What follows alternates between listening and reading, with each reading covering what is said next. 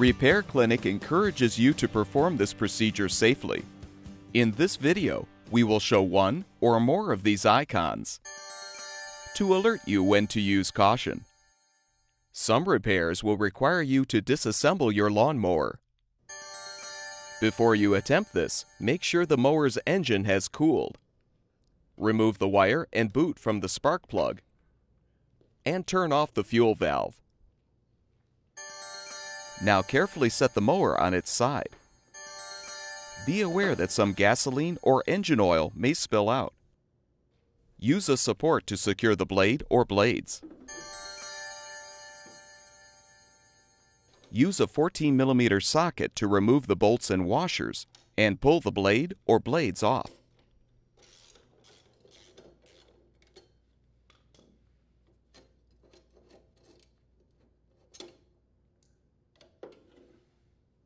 Using a socket, apply a sharp, strong motion to loosen the bolt, securing the lower rotostop assembly. Remove the bolt and pull the lower assembly off. Use a flathead screwdriver to assist in detaching the rotostop spring. Use pliers to release the clutch cable from the upper rotostop assembly.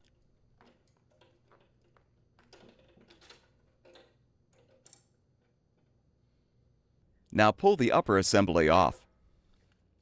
You will now need to remove the two debris shields by uninstalling the retaining screws. Be aware that in order to release the first debris shield, you will need to adjust the rear wheels to the lowest setting to access one of the screws.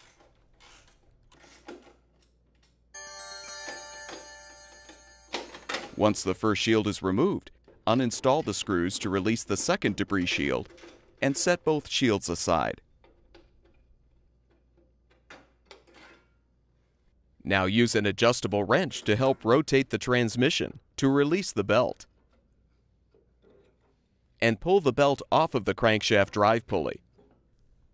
Use pliers to disconnect the tension spring on the transmission. You can now remove the belt. Reinstall the belt by threading it onto the drive pulley mounted on the transmission. Use a long flathead screwdriver to help reconnect the tension spring. Release the tension on the transmission and loop the belt onto the crankshaft drive pulley. Reinstall the second debris shield and secure the screws. Position the first debris shield and secure it with the screws. Readjust the rear wheels to their appropriate position. Reinstall the upper rotostop assembly. And reconnect the clutch cable. Use the screwdriver to reattach the rotostop spring. Position the lower rotostop assembly and secure it with the bolt.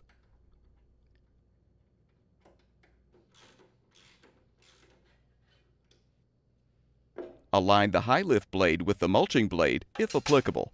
Then position the blade or blades on the rotostop and secure the bolts and washers.